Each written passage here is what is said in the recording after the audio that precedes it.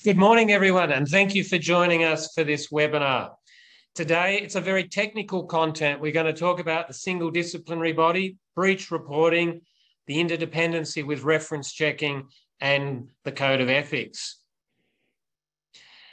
Now, of course, there will be CPD for the session this morning, and we have specifically set out with the intent of providing some professionalism and ethics content just before the end of the financial year, which we hope will be beneficial for members. Keep in mind that all webinar attendees will be on mute during the webinar, but you will have the chance to ask questions.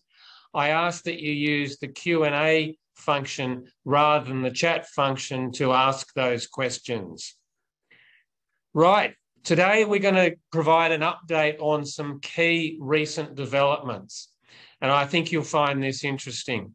Then we're going to dive into the single disciplinary body and talk about what that means for the end of FASEA, then breach reporting and reference checking, and uh, at the end, well, for a decent chunk of the, the uh, webinar, we'll also talk about the code of ethics and where we're up to with the code of ethics uh, and what might be next.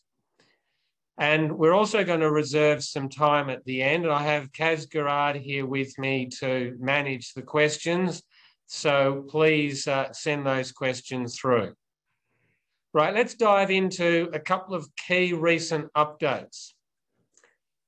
Now, uh, we've been dealing with an issue uh, over the last month or so. This came up as a result of discussion that I had following our, our um, annual renewal webinar on the 20th of April, when I was working through some of the questions that we had received, and I was looking at the definition of transition day.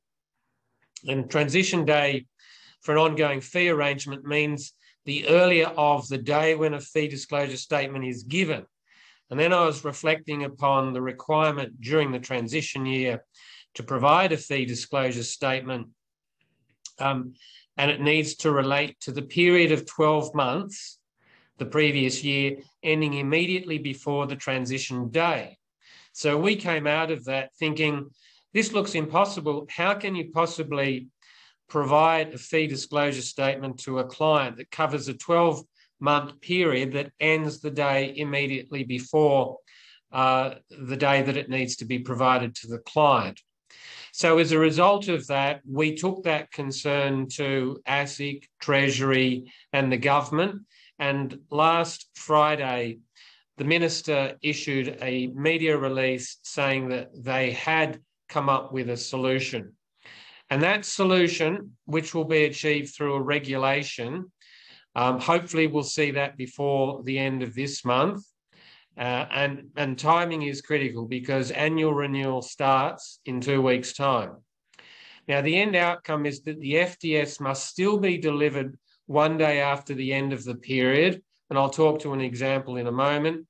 However, it is only required to include 10 months of actual fee data and an estimate for the remaining two months of the year. Now, if we use the example that we have here for uh, an FDS period from 1 October 2020 to 31, uh, sorry, to 30 September uh, 2022, uh, sorry, 2021, um, what it actually means is you need to provide the actual fees for the 10 months from October 2020 to the 31st of July 2021. Now, you should be able to get that data in August of 2021 because you've still got two months left. You can prepare an estimate for those remaining two months. You've got the chance to package it up, and then you need to provide the FDS on the 1st of October. Keeping in mind that you need to provide the FDS the day after the end of the period, and it's the day that you provide the FDS that sets the anniversary for future years. So as you can see in this example, um, with the actuals for those first 10 months and the estimates for the last two months, it gives you two months to pull that FDS together and do all the necessary checks before you provide it to the client.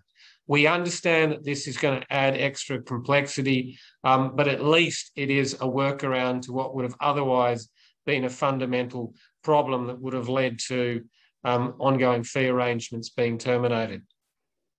Now, I want to move on to another issue that's come up recently, and I'm I'm very conscious that for many members, the FASEA exam is something that drives a great deal of, of stress and emotion. Um, and we're, we're bringing this to you because we think it's important that, that you are aware. Um, uh, it's, a, it's a recent important development. Now, at Senate estimates on the 2nd of June, WA Senator Ben Small, who, who some of our members um, have been in touch with, posed a question uh, to FASEA. And basically, he was asking a question about what is going to happen to those advisors who, for whatever reason, are unable to pass the exam by the end of this year. And particularly if they were sitting the exam in November um, and they found out um, just a couple of weeks before Christmas that they had failed um, for their last chance, what would happen? And Stephen Glenfield, uh, the CEO of FASEA, came back to say that you do have an option under the Corporations Act to come back and sit the exam next year. Now, this was a bit of a surprise to us, and we had to dig into this, including um, talking to FASEA and, and since talking to ASIC. And I'm just going to quickly explain that. And this is quite technical, and I'm sorry, a lot of the presentation this morning is going to be quite technical, but I want to take you through this so that you do have an understanding. An existing provider is defined in Section 1546 of the Corporations Act as a person who is a relevant provider at any time between 1 January 2016 and 1 January 2019, except for a person um, who ceases to be a relevant provider under subsections 1546B, 4 and 5. Now, 5 is the one that's relevant here because 5 relates to the exam. So if we go then and have a look at 1546B, and I need to refer to 3 and 5 um, because 3 talks about an existing provider must have met the education and training standard in subsection 921B3, which is a, the core obligations under the professional standards regime before 1 January 2022. And critically, five, because five is, um, is referred to in the definition of an existing provider, if at the start of 1 January 2022, a person who is an existing provider and a relevant provider at that time fails to comply with subsection 3, which is the completion of the exam, the person is taken for the purposes of this act after that time to have ceased to be a relevant provider. So that basically means that if you hadn't passed the exam by 1 January 2022, then you would no longer be an existing provider and you would therefore have needed, if you wanted to come back, to come back as a new advisor, complete a full degree and also go through the professional year. However, um, it turns out that, and we were aware of this, but we hadn't, of, of this um, legislative instrument, but we hadn't connected the two issues. ASIC issued a legislative instrument in October 2018 and in effect, it changed 1546b3 3 such that it was then worded as an existing provider that immediately before 1 January 2021 is a relevant provider must have met um, the, the condition of passing the exam. So they changed it so that it only applied if you were on the register immediately before 1 January um, 2022, as the case may be now, because the exam deadline has been pushed back. So, what it means is there is an option for someone to cease on the register before the end of this year if they have not passed the exam, subsequently pass the exam, and then come back afterwards.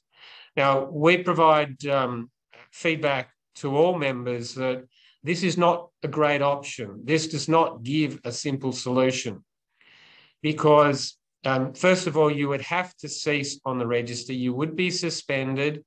um, you would need to come up with an alternative solution for how you would service your clients. Because if you're unable to service your clients, then that would mean that um, you'd have to turn off ongoing fee arrangements. And also, FASEA comes to an end at the end of this year, and the responsibility for the exam is passed back to ASIC, and we have no timetable for when exams may be run next year.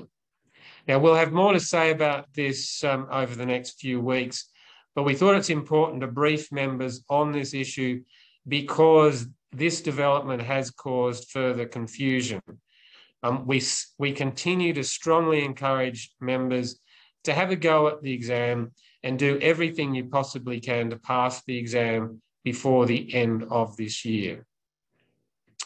So that was a couple of items that uh, are recent developments that we've been actively involved in that we wanted to update you on. Now I want to run a poll question here. Um, we remain very committed to doing what we can to help members get through the exam and we'll, we'll have more to say on this uh, over, over coming months. There's three more attempts left, but I want to ask um, uh, those who are on the webinar for them to respond to this poll question. Uh, and the question is, what is your status with the completion of the FASEA exam? I've passed the exam. I've sat the exam, but not yet passed. I've not sat the exam yet, but intend to sit this year and I do not intend to sit the exam. So we got numbers um, numbers coming through here, um, and we'll keep it open for uh, just a little bit longer. Uh, at this stage, we've got uh, responses from 130 of the 189 who are currently on the webinar.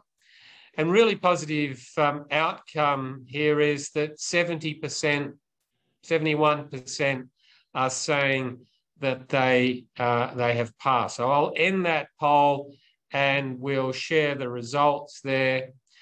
So um, 70% indicating that they have already passed the exam, 13% saying that they've sat it but are yet to pass. Um, and, and this is one of the groups that we, we really want to focus on. And a further uh, 10% who have not yet sat the exam but still intend to sit at, at one of the remaining three settings. And, and just 7% of those people on the webinar today do not intend um, to sit the exam.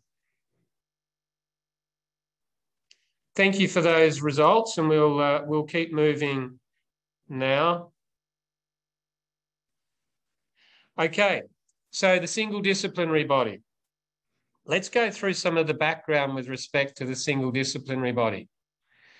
Now, uh, we know that the original intent of the professional standards legislation was the creation of what was called code monitoring bodies, who would, uh, in many ways, have been the, the professional associations who would have responsibility for monitoring compliance with the code. But the Royal Commission came along in February of 2019 and recommended the establishment of a single disciplinary body. So the government in October of 2019 announced the intention to scrap the plan for a um, for code monitoring bodies. Uh, and that was a, a, pretty critical development because what it meant was that for a period of time, there was no body in place to oversight uh, compliance with the code. And then in December last year, there was a um, joint media release uh, from our minister and the treasurer, Josh Frydenberg, to um, put in place uh, the, the single disciplinary body, but also announced the winding up of FASEA as part of that. Their proposal was that ASIC's Financial Services and Credit Panel would be expanded to include the management of disciplinary matters, uh, and also the administration of the exam.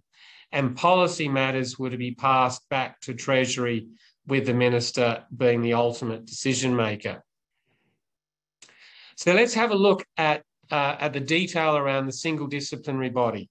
The government issued exposure draft legislation on the 19th of April, and uh, we were all given around three or four weeks to respond to that.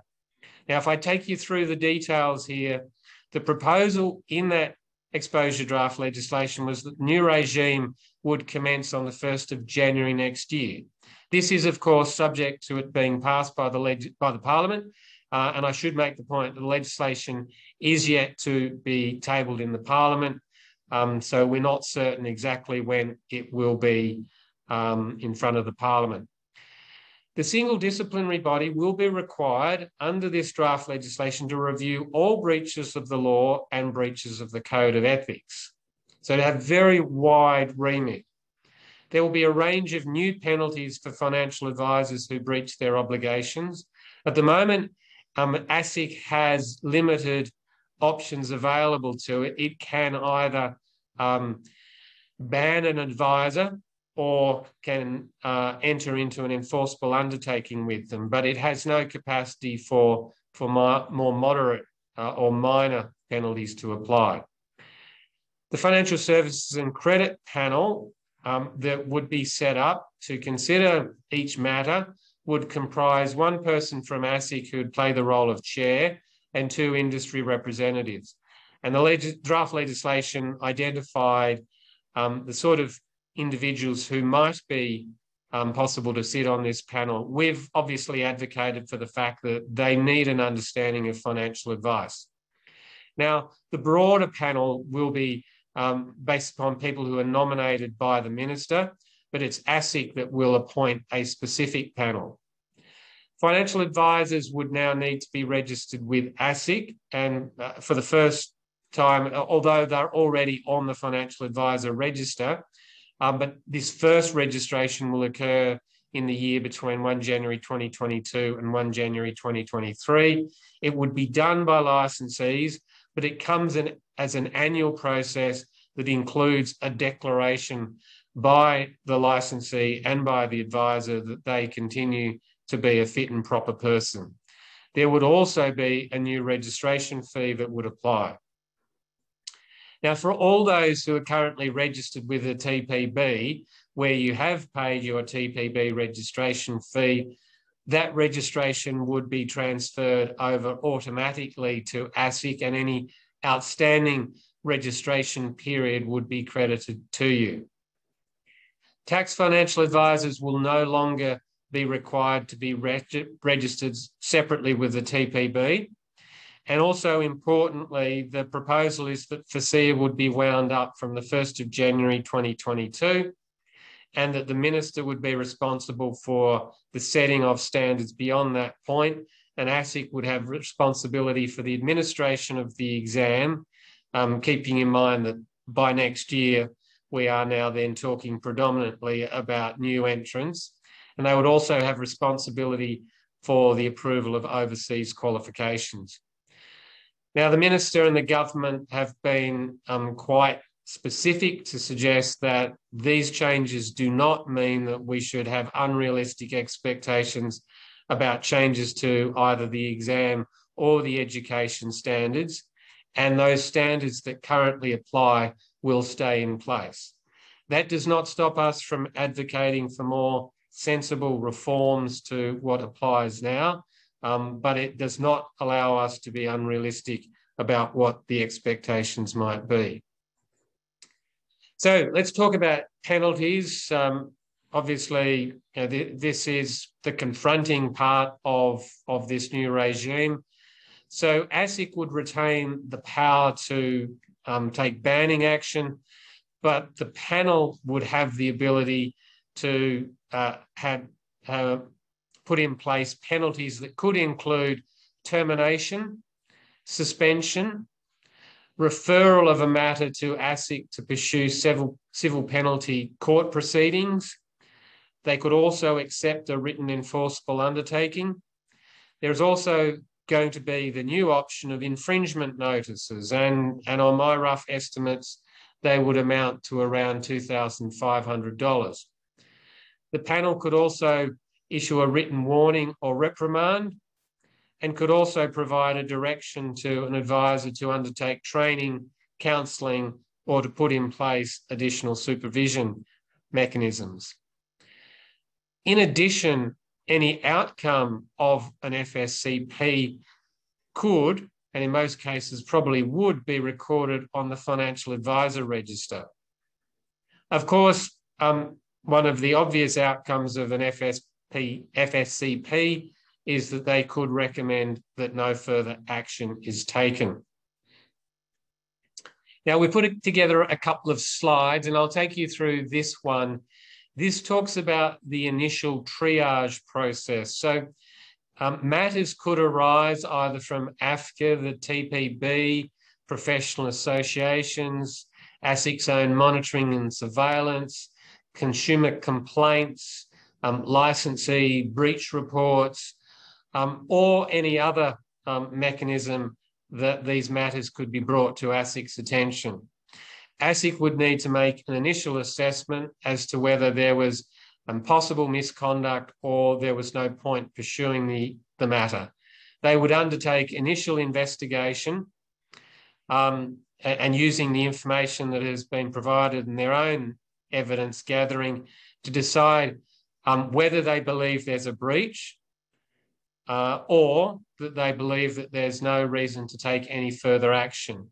If they believe there's a breach, they then need to make an assessment as to whether it could be something that could lead to a banning action, in which, in which case they would run with it and, and there'd be no change to their current process. Or alternatively, they might um, think it's not a banning matter and pass it to the FSCP.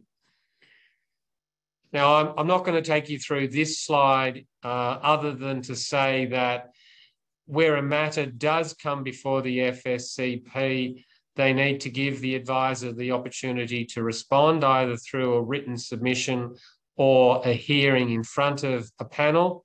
And should the advisor um, ultimately be dissatisfied with the outcome, they also have the ability to refer the matter to the AAT. Now, this slide will be available as part of the presentation for you to read later on, should you choose to do so. All right, now we have um, made a submission to Treasury in response to this exposure draft, and we've made some, some key points. We do not want these FSCPs or the panel to be looking at minor and administrative matters.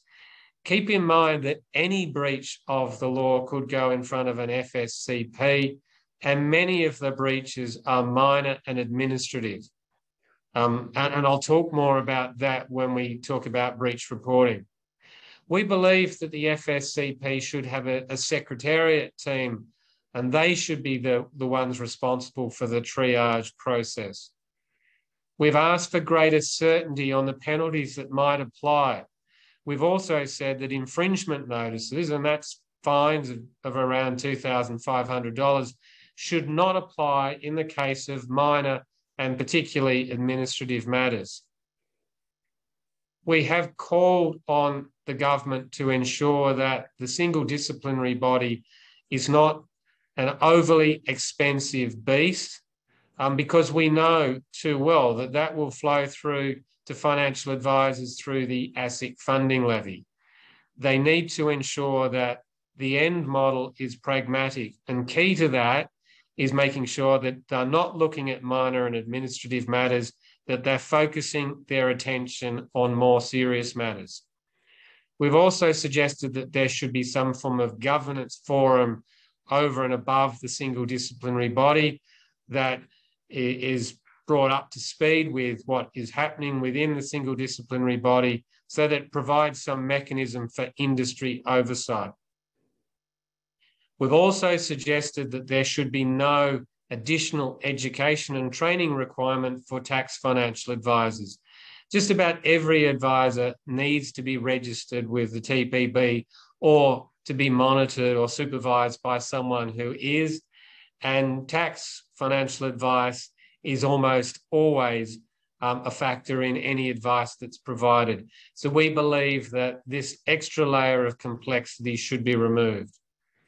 And in the context of the scale of the changes that are being made, the unlikelihood of this being legislated anytime soon, we have suggested that commencement should be pushed back until 1 July of next year rather than um, 1 January of 2022. Now, I'm going to, at this point, move on to breach reporting and the interdependency with reference checking. Now, breach reporting is a responsibility that sits with licensees, um, acknowledging that a, a number of the 200 people we have on the webinar at the moment will also be licensees. But it's um, important for advisors to understand the new breach reporting regime because ultimately uh, it is most often that licensees will be reporting breaches by individual advisors. And you um, importantly should understand the consequences of that. Now, breach reporting is an issue that has been in the spotlight in the past, and there was a, a government task force called the ASIC Enforcement Task Force that looked at this a few years ago uh, and issued a recommend, set of recommendations to government. It was also something that was looked at by the Royal Commission, and they made some recommendations with respect to tightening up the regime. Now, there was a bill that went before the Parliament in November and was quickly pushed through in December that included a number of different measures. It was a very large bill, 159 pages, and the explanatory statement was around 360 pages. But it included some key issues, um, one of which was breach reporting, another one was reference checking. So this is all legislated and it's due to start from the 1st of October this year. So key parts to it, a complex and much broader definition of a reportable breach. Um, one that we find quite striking, which is an obligation for licensees to report financial advisors and mortgage brokers from other licensees. I might just pause on this. You'll see references to mortgage brokers a number of times in the discussion about breach reporting um, and reference checking. There are some people who think that mortgage brokers got let off from the Royal Commission. The only thing that mortgage brokers got let off on, so to speak, was the recommendation around the removal of commissions for mortgage broking. Mortgage brokers have been caught through the Royal Commission in many different ways, including the introduction of a, of a best interest duty, but also being very much tied up in the breach reporting and reference checking regime. So I'll, I'll talk to that a little bit more as we go through this. So, yes, an obligation for licensees to report financial advisors and mortgage brokers from other licensees. Now, keep in mind that licensees can be product providers as well. So you could have a product provider or a life insurer or a super fund providing breach reports on things that they see with respect to financial advisors. We suspect it's more likely that uh, AFSL advice licensees will be the ones who are needing to report advisors there are also additional obligations with respect to investigation of breaches and notifying impacted clients and remediation of impacted clients. And I'll talk to more on that in a moment. ASIC have recently issued a new draft regulatory guide, um, RG 78, on breach reporting, and the AFA recently made a submission to that, which we will be releasing later this week. So let's, let's dive in to have a look at what a reportable breach might be. Um, Section 912D of the Corporations Act is the um, significant breach reporting requirement. It has been in place before. It was relatively straightforward. There were four elements of it in the past, uh, although there was some criticism about how it wasn't applied consistently and, and in particular, how some of the large institutions were slow to report breaches to ASIC. So the government, in their wisdom, have decided to go away and make this incredibly complex and incredibly prescriptive. It is, in my view, the most remarkably complex piece of legislation uh, that I've seen in my time in, in working in the regulatory space. So I'll take you through that. A breach um, is defined as a breach of a core obligation that is significant. And we'll come back to reflect on what core obligations are and what significant is. It also might be a case where a licensee um, makes an assessment that they have become incapable of complying with their core obligations in the future. Where a licensee is conducting an investigation into whether there is a reportable situation and that investigation continues for more than 30 days, then that becomes reportable. And where that invest, investigation is, is subsequently um, completed and it, uh, the end outcome is that there is not a reportable situation, because you've already reported the investigation, you have to report back to say that the investigation has revealed that there is no reportable situation. Conduct that constitutes gross negligence is also uh, subject to breach reporting, as is serious fraud. Uh, and obviously, you know, we have no objection about gross negligence and serious fraud being reported to ASIC. So let's have a look at what a core obligation is. Now, um, for those uh, on the on the call who are compliance experts or lawyers and might have dug into this, this is a remarkably complex definition because you get redirected to multiple different places to ultimately end up with the same understanding, which is that it's a breach of a licensee's general obligations, and they're defined in sections 912A and 912B. It's a breach of certain chapters of the Corporations Act and certainly Chapter 7, which is the core chapter that applies to financial advice, is caught under that definition. A breach of Division 2 of Part 2 of the ASIC Act, and there is also provision um, for other breaches of other Commonwealth law to be inserted through regulation. So for us, um, this really means that it's any breach of Chapter 7 of the Corporations Act, given that 912A and 912B are in Chapter 7. So, what is significant? So, this is broken down into a number of different elements, but there are probably two that are most important. The first one is the breach of an offence provision under the law, under any law, where an imprisonment, a maximum imprisonment penalty is for three months or more for dishonesty, or otherwise for 12 months or more. The breach of a civil penalty provision, except where it's exempted through the regulations, and, and Treasury are currently consulting on which um, penalty obligations should be exempted.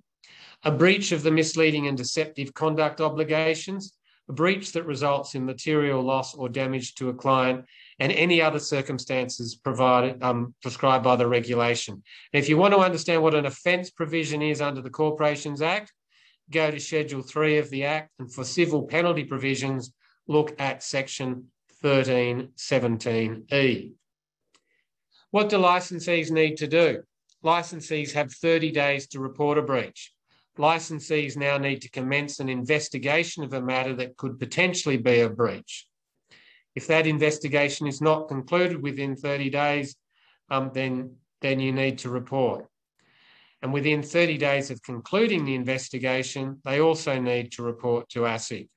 The report must be provided to ASIC in the prescribed form, which is through the ASIC portal. Reporting advisors from other licensees. Um, this is something that we find quite remarkable, but it applies in the case of a significant breach or likely breach or a matter involving gross negligence or serious fraud. It only applies to financial advisors and mortgage brokers. So if a product provider uh, is knowingly doing the wrong thing, no one has an obligation to report them. Licensees must report to ASIC within 30 days and licensees must also provide a copy of the report to the other licensee within 30 days. Failing to submit the report to ASIC or the other licensee is a civil penalty provision. And as a civil penalty provision, it is also reportable. So you need to think in, in terms of, from a licensee perspective, the consequences for a licensee that's doing, doing due diligence on an advisor that they are in the process of recruiting and you're starting to look at files. What if you identify something through that due diligence that becomes reportable? Now, finally, talking about notifying and remediating impact clients, impacted clients. Licensees now have new obligations in this space. Where there is a reportable situation and the, the licensee um, must notify the client where the client has received personal advice as a retail client and there are reasonable grounds to suspect that the affected client has suffered or will suffer loss or damage and the client has a legally enforceable right to recover the loss or damage. The licensee has 30 days to issue the notice. The licensee must also undertake an investigation where they suspect a matter and there, uh, where there's potentially affected clients. Clients must be notified within 10 days of the completion of the investigation and remediated within 30 days after the investigation is completed. So there are important new obligations that apply as a result of this change when it comes to affected clients and remediation. Breach reporting also impacts reference checking, and I'll explain this um, this here. So mandatory reference checking comes into place from the 1st of October this year. And it will apply to licensees who are doing the recruiting and for licensees who might be the current licensee or the former licensee of that advisor. ASIC is going to put in place a reference checking protocol uh, and it will become mandatory for financial advisors and mortgage brokers just financial advisors and mortgage brokers. So senior executives of product providers or life insurers are not impacted, but financial advisors are. Um, now, the draft ASIC protocol, and they have consulted on this, um, refers to where the reference must uh, must be sought from, the need for seeking consent, and the obligation to provide updates. Now, why this is linked to breach reporting is that reference checks will need to include details on any breaches that have been with, reported with respect to that advisor or any ongoing investigations that are underway. So there is a very important linkage there. Now we're going to conclude by talking about the FASEA code. Now, um, the, the process to get to this point has been long and drawn out. We've seen the consultation around the code itself with the code finally being issued in February of 2019. And since that time, uh, the FASEA have consulted on three separate occasions with respect to the code and the guidance around the code.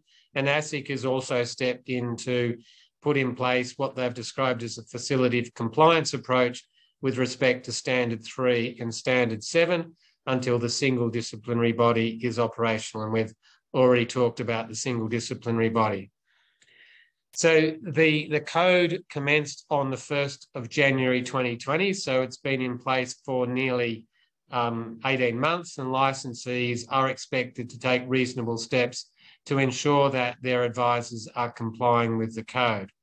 ASIC has said that they will not be monitoring uh, or enforcing compliance with the code by individual advisors, and they've also put in place that facilitative compliance approach whilst we await the single disciplinary body, um, which is likely to be next year. The code, as we know, has 12 standards and five values.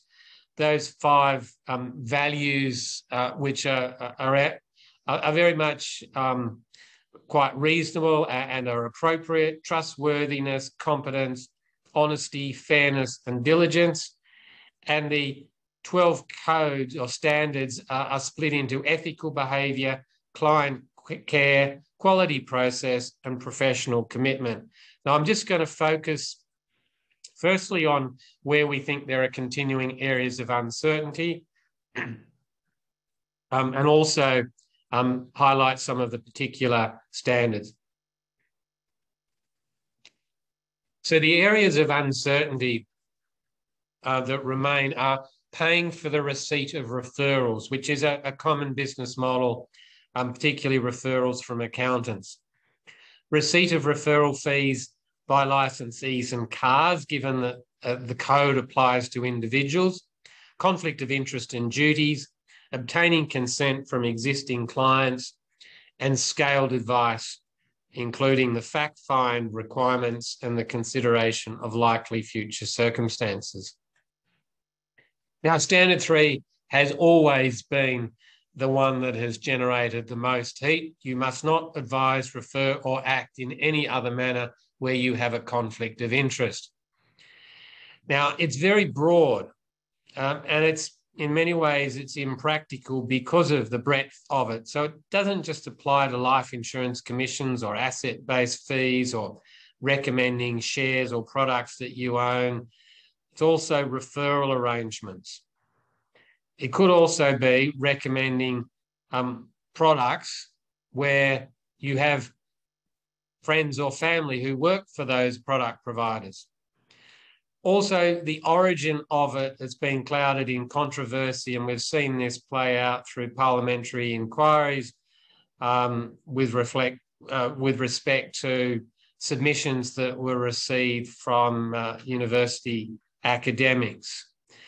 Um, and the explanation of how to apply it is both complex and confusing. I think FASEA did come to the party uh, in December 2019 in their guidance on this to say that in the context of life insurance commissions, they were still permissible, provided it complied with five conditions. And they were that the, the advice and the recommendation was in the best interest of the client, which was an existing obligation, and we certainly couldn't um, object to that the commission received was fair and reasonable and represented value for money as fully understood by the client. And this links to some of the other um, standards in the, in the code, including standard seven. The client understands the benefits, risks, uh, costs, risks of the insurance advice, which is an existing obligation. So we have no issue with that. The advice and fee structure are appropriate for the client um, more guidance obviously was required with respect to that. And a disinterested or unbiased person in possession of all the facts would reasonably conclude that the remuneration would not lead the advisor to prefer the interests of someone over the interests of the client. And that came down to what that disinterested person test might actually require. Similar rules applied with respect to asset based fees and brokerage arrangements. In October of 2020, FASEA provided further guidance around the situation in which uh, a conflict was um, uh, was one where action needed to be taken. And we actually quite uh, appreciated the the further reference to uh, the fact that financial advisors would be able to rely on their professional judgment interpreting the code um, with modern best practice in, in professions. Now, this is really important because it's one of the issues that we do not see the current law allowing is professional judgment by financial advisors. So we think that's a, message heading in the right direction. But then um, what is actually required in, in complying with this standard of judgment is a very complex position that you need to put yourself in. Now, I'm not going to go through this in detail, but it is um, it, it does require you to give very specific consideration to the circumstances as to whether um, it does cause a conflict of interest that needs to be avoided. Referral fees remain an outstanding issue.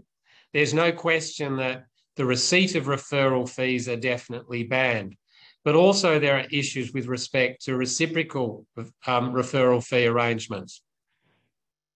FASEA seemingly, seemingly expects that you would have multiple referral partners. However, this may not always be possible. And in October of 2019, FASEA hinted to the fact that there would be a ban on the payment for referrals. Um, and this has obviously been a, an area of concern for many members who have existing arrangements in place. Now, it's interesting to, to see some recent um, questions on notice that came out as Senate estimates, where Senator Slade Brockman from Western Australia asked the question. He said, there has been criticism of the FASEA Code of Ethics and particularly Standard 3 on a complete ban of conflicts of interest. Will FASEA seek to amend Standard 3 before um, they cease operations? And the answer back from FASEA, and, um, and obviously uh, this has had some media coverage, is that they have consulted, um, uh, and most recently in October last year, on the on the guidance around the code, and as a result of that, they've received a range of feedback, uh, including um, some suggestions to say that they should incorporate the wording of the guidance uh, in the code or revert to the original wording of the standard re inappropriate advantage or change the standard to provide for a disclose and manage approach. FASEA have also said that they plan to consult on Standard 3 um, this year and will continue on working on enhancing and refining it before they cease operations. So, so this does suggest that Standard 3 um, may be changed by FASEA um, whilst they are continuing to operate. Standard 4 caused a lot of um, concern because this is about ob obtaining client consent from existing clients and the suggestion through the guidance in October 2020 that this might apply uh, in the case of um, commissions being received by financial advisors. And we were concerned about this because it was weaving in to standard four issues with respect to fees and, and remuneration, which should have been addressed through standard seven. And of course, standard seven has the benefit of the facilitative compliance approach, which standard four does not have. And, and in that guidance, they did draw into um, situations where uh, a client um, paying life insurance commissions may not have been in recent contact with the advisor and whether obligations would apply. Now, we think this is an issue where there is a need for further guidance. Um, and at this stage, uh, um, we're still unclear on what exactly will be required. Standard 7 is a really important standard because it relates to the receipt of remuneration and you will, of course, be conscious of the fact that in this standard, they refer to the fact that, that you need to be um, confident that the, the, the payments that the clients are making are fair and reasonable and represent value for money for the client. Now, fair and reasonable is one thing, but representing value for the money for the client is, is a complex concept because it can only be defined in the eyes of the client. And what we have suggested is that in order to be prepared to answer this question, advisors should be thinking about benchmarking the costs of services that they provide to different cohorts. So if you have a package of services that you provide to a, cohort of clients, it's worthwhile thinking through what services do you provide? What are the costs of providing those services? And therefore are your fair, are your fees fair and reasonable in that context? Also, given the, the value for money element of this standard, we're recommending that advisors are asking clients questions to understand where they see value in the advice. Now, this could be part of the review process, and it's something that if you document, you're, you're keeping a record of where that value is demonstrated. It's also going to provide good insight into what your clients are thinking about the services that you provide. And one last standard that I will reflect upon before we go to questions is standard 12. 12. individually and in cooperation with peers, you must uphold and promote the ethical standards the profession of the profession and hold each other accountable for the protection of the public interest. Now, this is something that I, I think we should support, but uh, it does play out in different areas. And one of them is uh, something that we have seen a lot of focus on in the last um, six to eight months, which is advice being provided by those who are unlicensed. And I think we all have a role to play in, in calling that out where we see it. But I've also included in this slide um, a picture of a High Court judge who has come under criticism for the way he's conducted himself. And I think we all have a role to play in terms of calling out conduct that mightn't be advice related, but where it is obviously inappropriate. And those sorts of things should not happen uh, in our industry and in our businesses. So there is um, things to be taken out of Standard 12 that are broader, and it's important to think about how we are applying those uh, expectations within our practice. So we now have um, uh, eight or nine minutes for questions. So um, I'm going to now um, ask Kaz to uh, read out the questions that we have and we'll go through those. Okay. So we do have a question here in relation to breach reporting. Um, and the question is, do licensees have any obligation to tell the financial advisor if they've lodged a breach report against them? No. The answer to that is no, and that's a that's a good question. Um, and, and one of the things that uh, the law has introduced is that there are protections for the licensee in disclosing information to other licensees and in disclosing um, information with respect to a reportable situation to clients. But there is no requirement to disclose a, a breach has been reported to the advisor that's the subject of the breach and that's something that um, we are feeling um, uncomfortable about because that breach, when it um, is subsequently reported in a reference check, may be something that the advisor is just not aware of. But the answer to that question is no, there's no obligation that I'm aware of um, where the licensee needs to advise the advisor. And, and keep in mind, you know, it could be um, a situation where uh, they have terminated an advisor and they subsequently, uh, as part of the investigation of as what's happened, um, report them to ASIC. So there are various situations where it might arise, but there is no obligation seemingly to notify the advisor. And that has been the, the practice in the past. Okay. So we've got a fee disclosure question. Um, and the question is if the client was to pay fees um, due that, sorry, start again. If the client pays fees in June, for June, on the 4th of July, but the FDS anniversary date or due date is 1st of July, there's no need to include the payment of those June fees that aren't received until the 4th of July. Is that right? All right. Um, this is not an annual renewal, an FDS uh, session, but I did talk about the, the development at the start.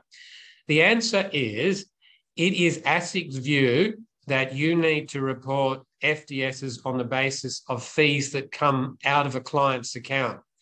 And if they come out of the client's account in June, even though they are paid to you in July, it is ASIC's view that you would need to report them um, for June. And ASIC issued a report 636 on FDS and renewal compliance, and they made this point strongly in that report and suggested that in order to comply with that requirement, advisors would need to manually checked that the amounts that they had included in fee disclosure statements um, were correct by looking at product systems to confirm that. So um, this is an issue that we have been advocating with the government on um, for some time, asking them to fix the issue because advisor systems are set up to report on the basis of when they receive the fees, not when they are taken out of the client's account. This is one of our ongoing advocacy issues, and um, and I'll say more about that uh, if and when we have a, a, an acceptable result. Okay, so we've, we've got a couple of exam questions, um, and I think it's worth discussing. Um, one of the questions was about the exam dates that are available for the remainder of 2021, uh, which are July, September, and November. Um, and the observation was if somebody fails the July exam, they only have the November opportunity to do the exam. Is that correct? Um, as you know very well that that's correct. Yes. So the um, three exams left. If you sit July, you can also sit November, and um, has made a particular point uh, of ensuring that's the case. If you if you sit and fail September, you do not have another option this year, and um, yeah, that that's that's that. Uh, we'll have more to say uh, about this recent development about being suspended from the register until you um, subsequently pass at a later point. Hmm. And that's um, probably a nice leeway into the next question. Um, for those advisors that perhaps couldn't pass the exam by the 31st of December, you know, would there be any transition period put in place to allow them to exit their businesses? Anything that you can talk about that? I can say that we have uh, asked the government to provide that. Um, we would like to see a provision where and someone who has had a decent crack at the exam, but ultimately, for whatever reason, has been unable to pass, and particularly if they get the result in November, uh, sorry, they sit the November exam and don't get the result in December, to be forced out from the 1st of January 2022 is very rough. And so we have put forward an idea to the government that there could be a six month grace period. Um, I'm not overly optimistic that uh, that we will succeed with that, but um, it is something that we have asked for. Um, Someone has asked about whether a financial advisor can access their own refer reference check report from ASIC.